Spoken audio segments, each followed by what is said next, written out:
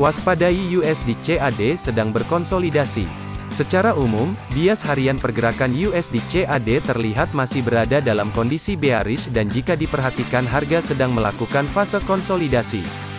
Jika pergerakan USD CAD tertahan di sekitar area kritis pada kisaran 1,24926 sampai 1,25190 maka tunggu kemunculan bentuk pola candlestick bearish yang valid dengan memperhatikan juga indikator ADX bergerak ke atas maka ada potensi harga akan menyentuh area 1.24193. Sebaliknya waspadai jika harga USD CAD terus bergerak ke atas dan menembus level 1.25190 maka ada potensi harga akan berbalik arah dengan bergerak bullish ke atas menuju level berikutnya pada kisaran 1.25618. Sekian analisa forex untuk tanggal 11 Oktober tahun 2021.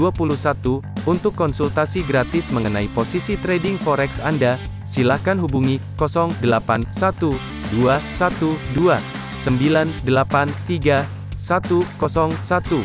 Sekali lagi, 081 212 983 101. Kami dengan senang hati berbincang dengan Anda. Untuk mendapatkan analisa forex setiap hari, silakan subscribe ke channel ini. Sampai jumpa di video berikutnya.